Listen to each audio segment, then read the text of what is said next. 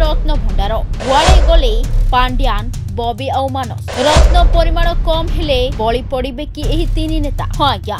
ବହୁ ପ୍ରତୀକ୍ଷାର ଅନ୍ତ ଘଟିଛି ଦୀର୍ଘ ଛୟାଳିଶ ବର୍ଷ ପରେ ଆଜି ଖୋଲିଛି ରତ୍ନ ଭଣ୍ଡାର ରବିବାର ଅପରାହ୍ନ ଗୋଟେ ଅଠେଇଶରେ ଶୁଭ ମୁହୂର୍ତ୍ତରେ ଖୋଲିଛି ରତ୍ନ ଭଣ୍ଡାର ଏ ଭିତରେ ରାଜ୍ୟ ସରକାରଙ୍କ ଏପରି ପଦକ୍ଷେପକୁ ବିଜେଡିର ବରିଷ୍ଠ ନେତା ତଥା ପୂର୍ବତନ ବିଧାୟକ ଅମର ଶତପଥୀ ପ୍ରଶଂସା କରିଛନ୍ତି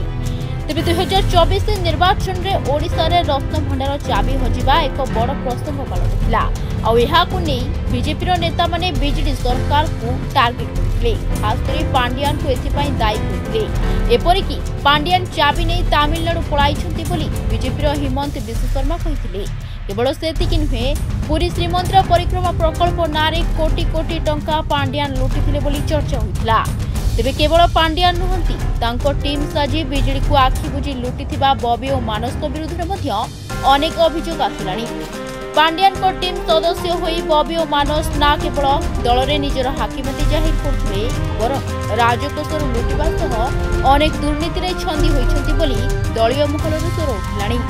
ପାଣ୍ଡିଆନଙ୍କ ନାଁ ବିକି ଏହି ଦୁଇ ନେତା ବହୁ ପ୍ରଶାସନିକ କାର୍ଯ୍ୟ ସମେତ କର୍ପୋରେଟ୍ ହାଉସ୍ ଓ କମ୍ପାନୀଠୁ কোটি কোটি টঙ্কা ଚାନ୍ଦା ନେଇଥିବାର ମାଳମାଳ ଅଭିଯୋଗ ଦଳୀୟ ମହଲରେ ଚର୍ଚ୍ଚାର ବିଷୟ ବନିଛି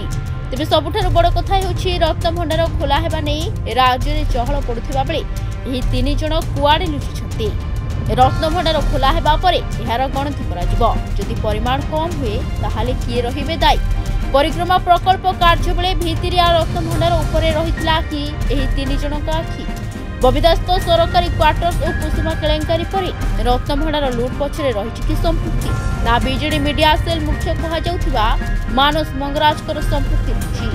বিজেডি ক্ষমতায় থাকবে নবীনকু কাঠ কণ্ঢেই সজেই গোটি চালনা করে তামিল শাসক আঙ্কর দুই অনুগামী ছাতি এবে ধরধর রত্নভণ্ডার খোলা হওয়া কথা শুনে কুয়াড়ে লুচিলে এই বাবু মানে রিপোর্ট দিনলিপি লাইভ दिनलिपि लाइव को एबे ही लाइक शेयर सब्सक्राइब करूँ